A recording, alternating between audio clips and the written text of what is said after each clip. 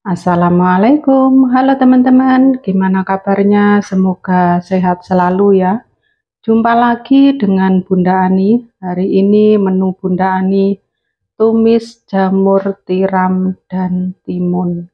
Ini enak banget, cara memasaknya juga gampang.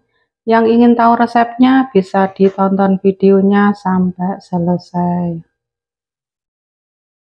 Ini Bunda ada satu bungkus jamur tiram yang sudah Bunda cuci bersih dan Bunda suwir-suwir ya teman-teman. Sekarang Bunda mau tuang air hangat. Ini nanti dicuci lagi ya teman-teman. Ini nanti mau bunda tumis dengan timun ya teman-teman. Ini timunnya sudah bunda iris-iris kayak gini. Terus untuk bumbunya ada bawang putih, bawang merah, cabai rawit merah, cabai merah besar, cabai hijau besar, dan ada daun bawang.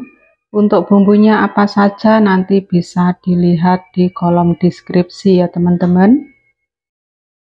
Ini untuk jamurnya ya teman-teman. Setelah bunda tuang air, bunda cuci lagi.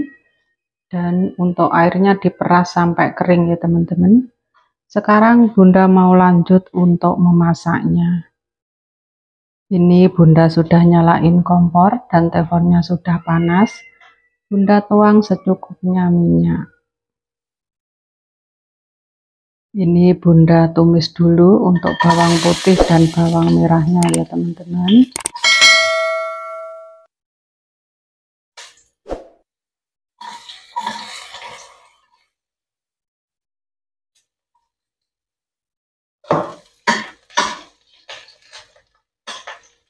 Kita tumis sampai kuning atau sampai matang.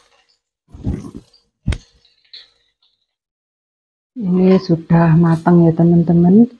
Kita masukkan cabenya.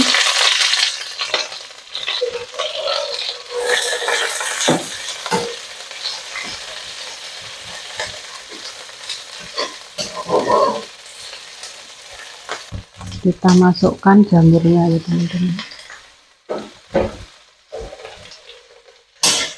Kita aduk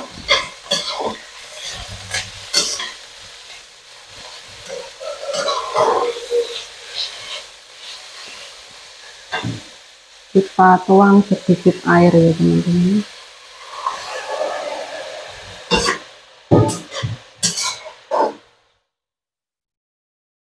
Bunda tuang setengah sendok teh garam setengah sendok teh gula pasir kurang lebih satu sendok makan saus tiram satu sendok makan kecap asin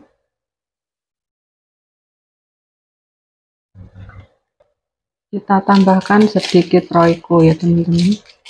Ini untuk penyedapnya kalau teman-teman nggak suka bisa di ini kita aduk ya teman-teman biar bumbunya tercampur merata. Selanjutnya bunda masukkan timun dan daun bawangnya.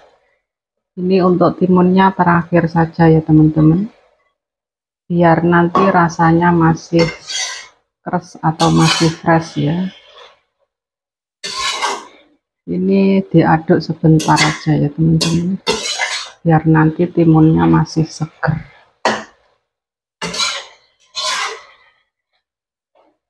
Jangan lupa untuk dicipi ya teman-teman. Kurang apa rasanya sudah pas teman-teman. Sudah enak. Resepnya bisa dicoba ya. Ini jika dirasa rasanya sudah pas ini kita matikan kompor. Kita tuang di piring saji. Ini ya teman-teman hasilnya. Enak teman-teman